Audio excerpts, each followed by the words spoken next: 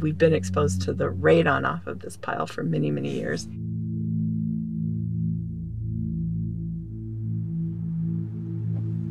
Underneath, there's a contaminated lake. The contamination that was deposited after all those years of mining and milling has been slowly underground working its way into the Milan area. EPA knows this. They showed it to us in public meetings.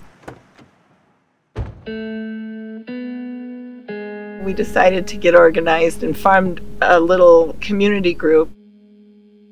We wrote to presidents, we wrote to senators, we wrote to representatives. We let them know what was happening. And they just basically blew us off like we were nothing.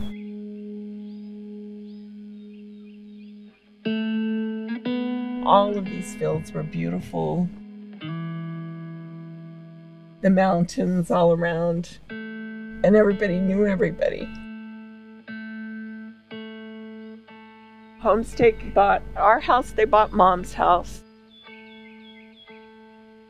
They've bought all the property down to the end of this road. I think that the buyouts, they'll probably walk away from cleaning this up at all.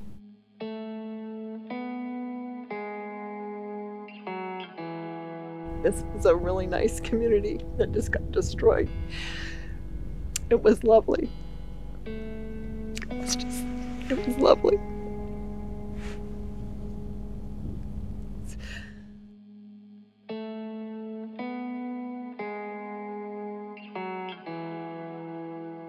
It was where I thought I would always, always live. But